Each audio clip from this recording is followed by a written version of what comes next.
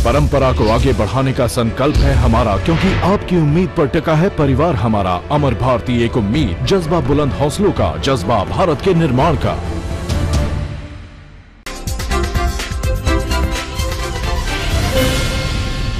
लखनऊ में investor summit के दौरान 60 लाख के गमले चोरी होने का एक मामला सामने आया है, जहाँ शहर में तीन करोड़ के बजट से एक लाख फूलों के गमले लगाए गए थे, लेकिन समिट के दौरान ही बीस हज़ार गमले गायब हो चुके हैं, जिनकी कीमत 60 लाख रुपए है।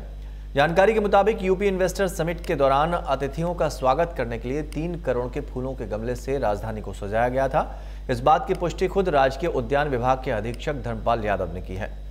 राजकीय उद्यान विभाग इसकी शिकायत शासन से करने की तैयारी कर रहा है, जिसके बाद अज्ञात व्यक्ति पर मामला दर्ज किया जाएगा। तो 10 परसेंट करीब तो टूट फूट हुई है। और बीच में ऐसे पॉकेट थे जहाँ गाँव थे, वहाँ पे कुछ लोगों के द्वारा नुकसान पहुँचाया गया या चुरा लिए गए गमले। करीब 20 परसेंट गमलों को अभी तक ऐसा अंदाज़ा है कि 20 परसेंट तक गमलों लोगों ने उठा लिए हैं। अभी हमारी ढुलाई चल रही है। एग्जैक्ट फिगर हम कल बता पाएँगे कि कितना हमारा नुकसान हुआ। है इन्वेस्टर समिट के मद्देनजर करोड़ों रुपए खर्च करके राजधानी लखनऊ को दुल्हन की तरह सजाया गया। चाक चौबंद कानून व्यवस्था का हवाला देकर देश विदेश के तमाम उद्योगपतियों को भी लुभाने का पूरा प्रयास किया गया।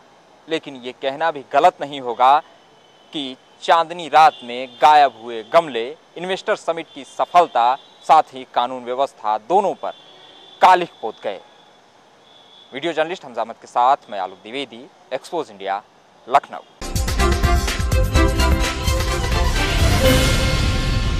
Hi guys, this is Alia Bhatt. You're watching Expose India. Keep watching.